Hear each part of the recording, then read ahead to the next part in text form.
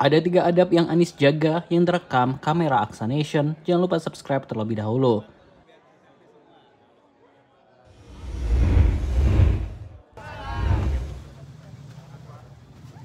Kampanye kini menjadi agenda yang harus dilakukan oleh Anies Baswedan karena namanya menjadi salah satu kandidat calon presiden dengan nomor urut satu. Terjun ke lapangan, menyerap aspirasi rakyat dan bertemu banyak orang dari berbagai latar kelas masyarakat harus dia lakukan. Namun ada hal menarik di mana di tengah kesibukan, kepadatan jadwal, hiruk pikuk kampanye yang melelahkan, ada ada baik yang tetap Anies jaga.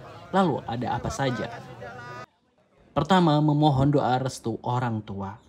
Memohon doa restu kepada orang tua, pamit dengan keluarga, merupakan adab baik yang ada di masyarakat Indonesia. Terlebih lagi di momen-momen penting.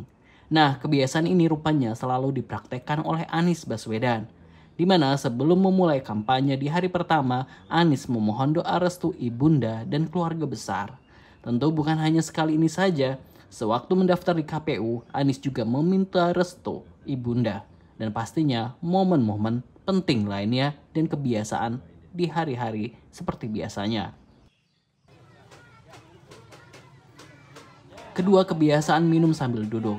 Saat kampanye di cuaca panas terik bertemu warga tentu kadang tubuh butuh sekali cairan.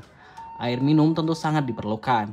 Dan nampak sekali Anies Baswedan mengusahakan untuk duduk atau mencari tempat duduk di saat ia minum. Ketiga, melepas sepatu dimulai dari kaki kiri. Kebiasaan melepas sepatu atau alas kaki dengan kaki kiri tentu menjadi ajaran Nabi yang baik. Dan ini perlu pembiasaan. Kalau yang tidak terbiasa maka akan melepas sepatu sekenanya. Dan nampak Anies mempraktekkan itu dengan nyata. Saat itu Anies hendak sholat di musola stasiun KRL Bogor. Anies mendahulukan kaki kirinya.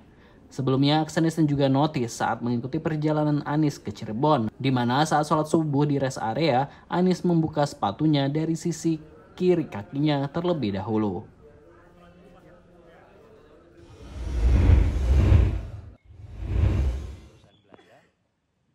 Wah itu tadi kebiasaan sederhana namun baik. Apa yang dilakukan Anies Baswedan ini mungkin terlihat biasa saja.